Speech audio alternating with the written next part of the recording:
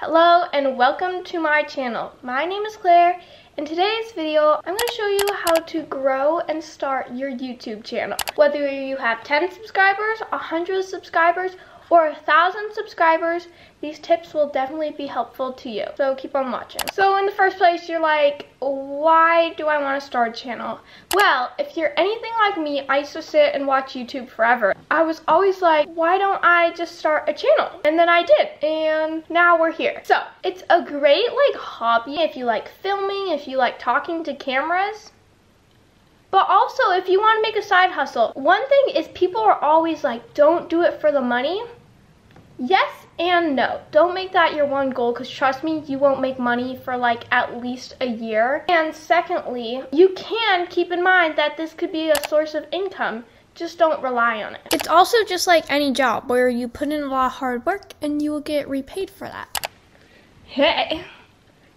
Okay, so you started your channel. You have a nice profile pic, a nice YouTube banner, a nice name, whatever. Now you're gonna have to start filming videos. So iPhones and Androids or whatever you use, camera quality nowadays is so good. I'm currently filming, oh, don't you love my shirt? I know. Anyways, I'm currently filming on the Canon G7X, which you can see my unboxing and you can see reviews on. It's really good. I got this as an investment because I like taking videos and taking photos. But if you're just starting off, I would definitely try using your phone. This is one of the newest phones, the iPhone 12. And let me just say the quality is so good. I think filming on anything over like an iPhone 6 is pretty good quality. I'll show you guys a couple tests. Okay, so this is on the iPhone 12 mini. And honestly, the quality is really good. You guys can see yourself there. There we go. Nice, nice room tour. And now I'm filming on the Canon G7X and you can see me right there. And you can tell the sound quality is a little bit better. There we go. Nice, nice room tour. But honestly, the focusing on iPhone is super good. So whatever you want, I just recommend waiting until you know that YouTube or filming videos is your passion to purchase something big. Now that you know what to film on, next step is how to film. Honestly, that can be so basic. It can come easy to people, some not as much. Awkwardness on camera is so usual for your first 10 20, 30, 50 videos. Trust me, if you look back at my videos, you can tell that Still so awkward. It's not, just remember, it's not usual for someone to talk to a camera. Just think of it as that voice in your head that like when you're walking around and you're pretending that you are making the YouTube video, just say that out loud. And that's what a YouTube video is. Also, make sure your camera is steady and not like that. It just, something with the human brain or eyes don't like it. That's not always inevitable my old camera was really big and really shaky, but the Canon G7X and iPhones do like really good for that. And finally, I'll talk about this in editing, but don't ramble on and on and on about things that nobody else will probably find interesting. Sorry, that's the cold hard truth. Now, let's talk about editing.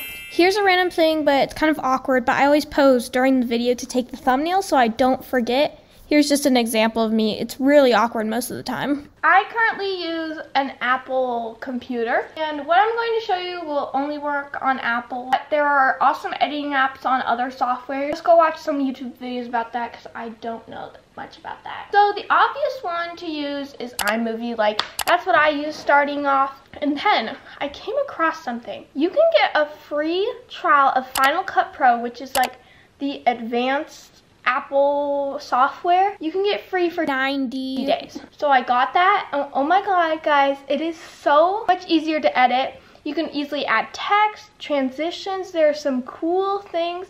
So I would definitely try checking that out. If you reset your calendar, then you can just have it for another 90 days. Technically, it's just like me on other accounts because I got on my other computer. So uh, let me quickly show you a cool things that you can do on Final Cut Pro.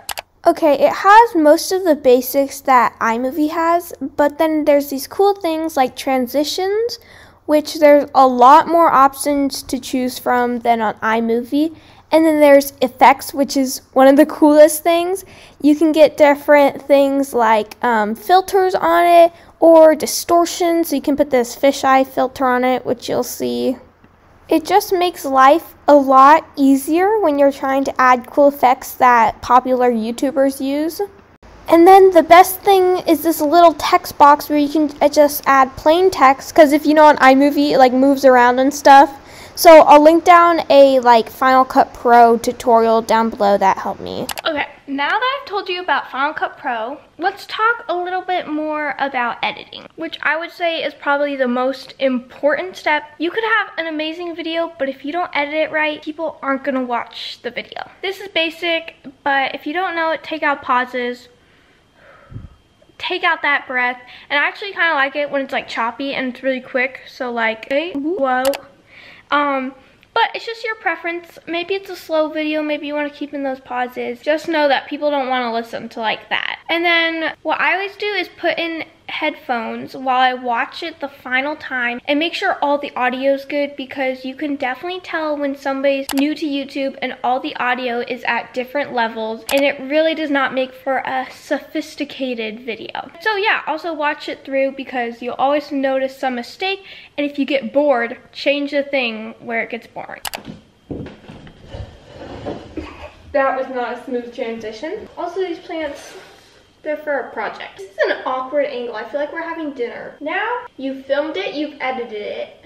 Edited, I hate that. Mm. And the third and almost final step is uploading it. Probably the most important because you wouldn't have gotten your video up if you haven't uploaded it. First thing, have an upload schedule. Thinking of that, or speaking of that, I post every Monday and Friday at 12 p.m. And I try to do that because YouTube's algorithm recognizes that and it can count on you for posting that certain time at that certain day and it will boost your video more. I don't know if that makes sense or if YouTube God just like came up with something that no one understands. Try and post at least once a week, but if you can't do that, then just get a good quality video and come out with like every two weeks or something something. I'm literally gonna change this angle. Ugh, I hit it. Don't mind my plant.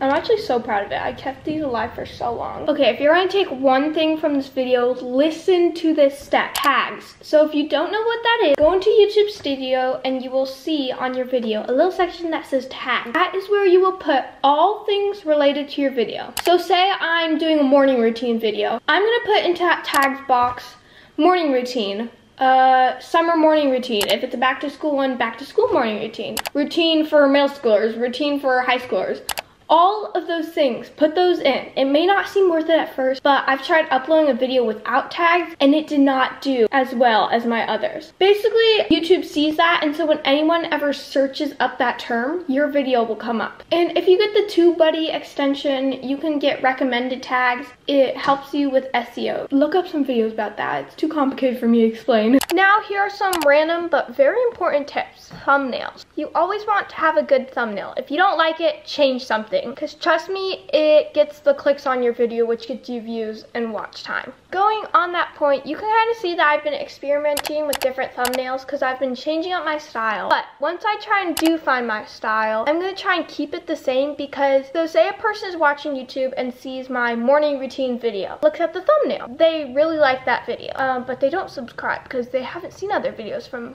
me. The next day they're looking at their YouTube recommendation page and they see a video by me and they can recognize because it's the same thumbnail type font or drawing on it. They click on it and they're like, wait, I've liked two videos from this person, I'm gonna subscribe. That was a very long explanation of just try it and have your thumbnails have a cohesive theme about it. Next, check your analytics. Whoa.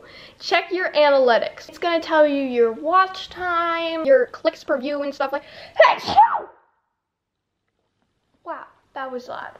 I would also recommend watching some analytics video because it actually gives you helpful things on what your fan base, I don't know, what your watchers like to watch. And this is another great tip from me. Sub for sub. Do not do that. I was always told, oh, don't do sub for sub. Real quick, the reason you don't do that is because they're just subscribing and subscribers are not the important part. The important part is getting watch time. So this sub for sub thing, you're not watching each other's videos, you're just having, you're having a lot of subscribers, but hardly any watch time, which you need to get monetized. But there's people who do like, they are smart. They're like, hey, I'm a small YouTuber. Want to support each other? Now, I'm not saying don't support them. Go check out their channel. If you like their content, if you like their videos, think they put a lot of time in it, it inspires you, and you think their channel is really good quality, then be like, yeah, I would love to be YouTuber buddies. I found some YouTuber buddies like that. It's fun having friends on YouTube. But if their channel is not what you like, then just don't subscribe. You don't want to be stuck with people who aren't inspiring you, and that happened to me a lot. I was like, why are these people getting all these views and stuff? I think my videos are better. That's just not a good mindset to be in. And finally, let's talk about premieres. I've tried premieres a couple times. Um, for me, I always forget